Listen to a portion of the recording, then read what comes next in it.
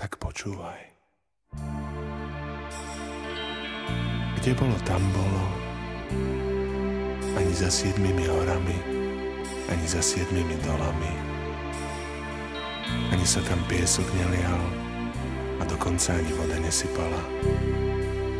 Tam, kde si na lúkach, pod strechou jedného veterného paneláčika, kde všetky telefónne čísla začínali osmičkou, žili ona a on. On veľký a ona maličká. Presne ako v rozprávke. Žili v láske, z lásky, spolu, sami. A tak sa jedného dňa rozhodli, že sa pohliadnú ešte po niekom ďalšom. To už by bolo predsa len veselšie. Aj karty by si mohli zahrať. Aj hlasovať by sa konečne dalo. A preto stále vyzerali z balkóna, či predsa len nenatrafia na niekoho, kto by im padol priamo do oka. A nelenili.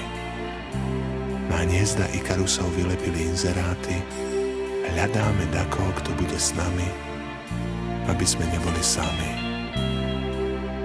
A netrpezlivo čakali, čo sa bude diať.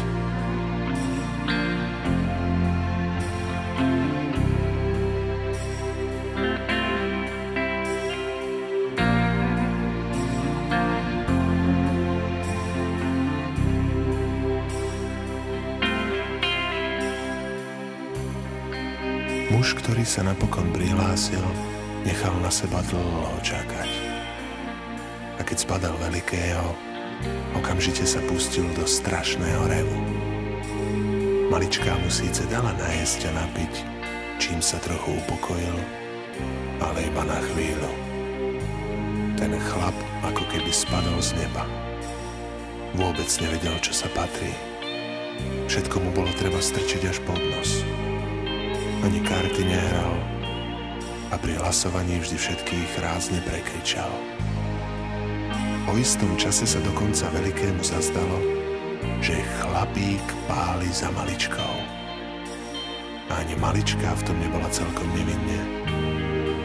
A vtedy sa prihlásil veľký čierny kocúr. Ale to už